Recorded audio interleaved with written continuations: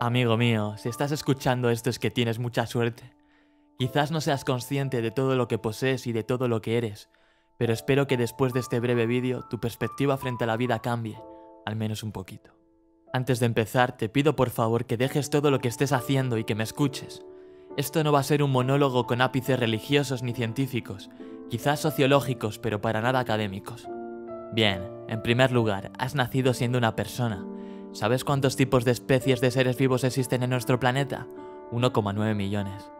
De entre todos los seres vivos vertebrados, invertebrados y plantas, de entre todos los mamíferos, aves, reptiles, anfibios, peces, cordados, agnatos, cefalocordados, tunicados, insectos, arácnidos, crustáceos, moluscos, hongos, líquenes, espermatofitas, gimnospermas, helechos, musgos, algas verdes, prosistas, bacterias, arqueas y virus, a nosotros nos ha tocado ser personas, a algunos nos hace falta un bozal, pero somos personas, individuos con derechos y obligaciones, con problemas e intereses, con reflexiones y pensamientos impuros.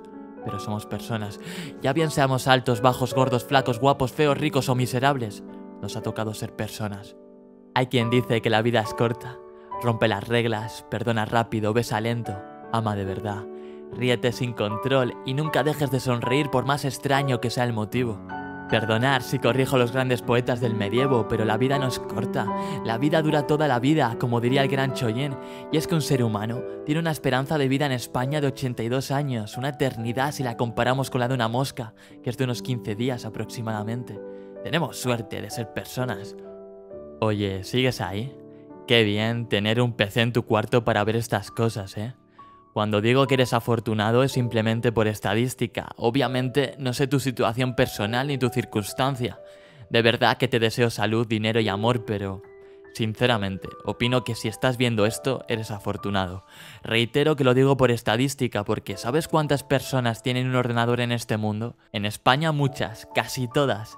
Todos tus amigos tienen un ordenador, está claro. Tienen un móvil, el chándal de su equipo, e incluso una moto, por decirte algo. Pero, ¿y si hubieses nacido en África? Mientras que en España el 74% de la población tiene un dispositivo personal para acceder a Internet, en África solamente una persona de cada 250 puede navegar por la red. Una cifra lejana, una cifra muy lejana al 1% de su población. Y luego nos quejamos, ¿eh? Nos atrevemos a decir que nuestra vida es una mierda. Muchos de vosotros contáis con una paga de 10, 15, incluso 20 euros semanales para vuestros caprichos ya que vuestros padres os lo dan todo para tener una vida plena y apacible.